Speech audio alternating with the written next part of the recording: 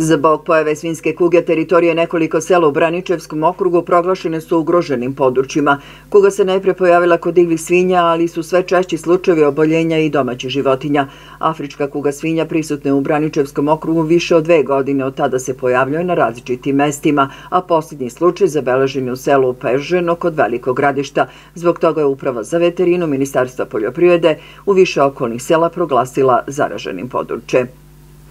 Broj proizvođača domaće hrane u Srbiji raste, oko 6000 njih posjeduje sertifikat organski koji izdaje Ministarstvo poljoprivrede. U Srbiji postoji šest sertifikacijonih kuća koje su ovlašćene od Ministarstva, izdaju sertifikate i sa kojima proizvođači mogu sklopiti ugovor. Neki proizvođači su za svoje proizvode izdali sertifikate organskom poreklu i načinu proizvodnje, dok drugi ističu da je jedina prepreka to što sertifikovanje zahteva dodatni novčani izdatak. Kupci su pak podeljeni neki ističu da im je sertifikat važan, a drugi ipak, kako kažu, veruju na reč, a ima i onih iskusnih koji kažu da se zdrava hrana prepozna.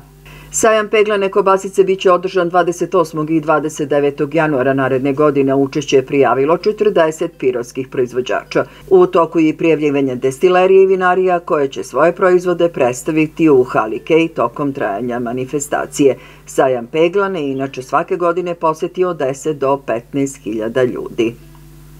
Poljoprivrednici koji podnesu zahtev za subvencionisanu dodelu zaštitnog grama na traktoru ne mogu da budu oslobođeni plaćanja takse od 330 dinara stoji u poslednjem biltenu Ministarstva financije. Inače, konkurs je produžen do 23. decembra tekuće godine. Ministarstvo poljoprivrede saopštilo je da veterinarska inspekcija u vreme nastupajućih praznika i slava, odnosno u vreme kada se promet ribe obavlja u većem obimu, sprovodi pojačane kontrole sveže i smrznute ribe u svim registrovanim objektima za prodaju te namirnice na teritoriji Srbije. Pojačane kontrole sprovode se u skladu sa analizom rizika, naročito na mestima gde se u prazniče dane očekuje veća ponuda i potražnja. Ministarstvo obaveštava građane da svaku sumnju na bezbednost ili kvalitet i ispravnost hrane bez odlaganja mogu prijaviti nadležnoj veterinarskoj inspekciji u svom gradu.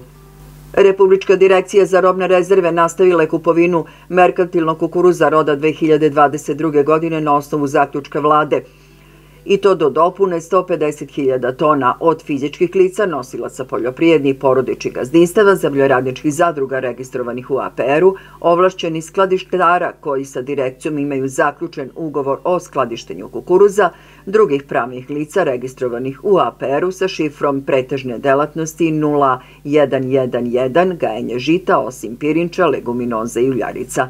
Prednost za zaključivanje ugovora imaće fizička lica, nosioci poljoprijednih gazdinstava. Zainteresovani za prijavljivanje za prodaju marketingu kukuruza mogu popuniti svoju prijavu elektronski na portalu direkcije www.rdrr.gov.rs svakog radnog dana od 19. do 22. decembra u periodu od 7 do 14 časova.